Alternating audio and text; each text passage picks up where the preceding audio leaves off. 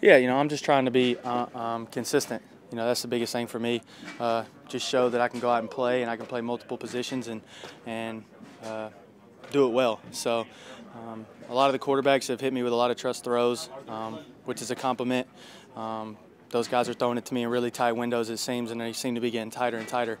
Um, but from last year to this year, I mean, it's been, I've grown a lot. You know, I kind of bounced around last year for a little while, and being able to come in and learn the playbook again and learn um, how we're going to run things and re-identify this team uh, this year.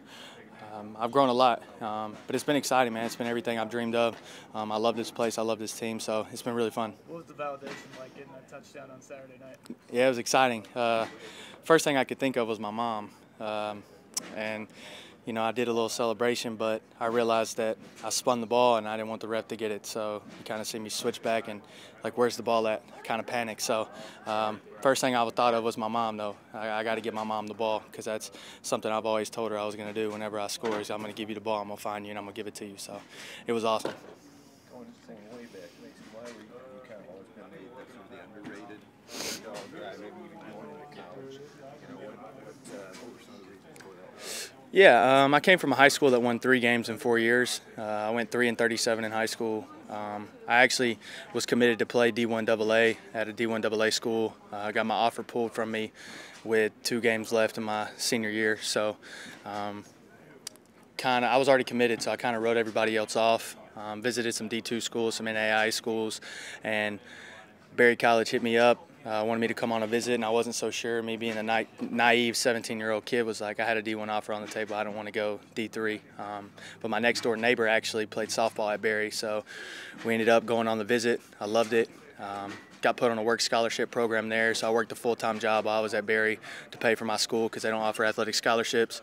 And uh, we we had a lot of fun. We won a lot of games. Uh, they just won their fifth straight conference championship, and I think I lost one game at home the four years I was there. So um, it was awesome. But I believe God's plan's perfect, and I ended up where I was supposed to be. Uh, I worked in the athletic department, so my boss was Derek Taylor. He was the assistant athletic director.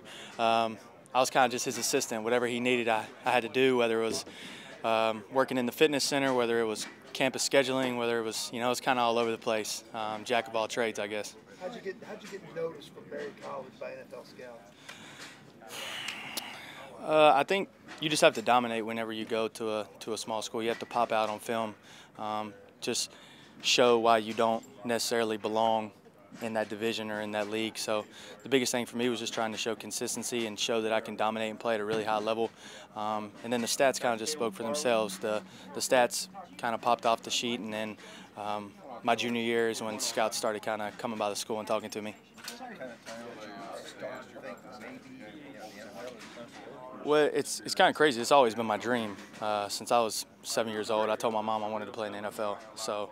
Um, and I never really lost focus. I knew I was at a D3 school, and I knew that it was going to take a lot. Um, and I just stayed laser focused on that. I knew what it was going to take, and I knew how I had to kind of approach it, and that was my mindset. So um, I just tried to do everything that I could to put myself in the best situation, and it, and it all played out.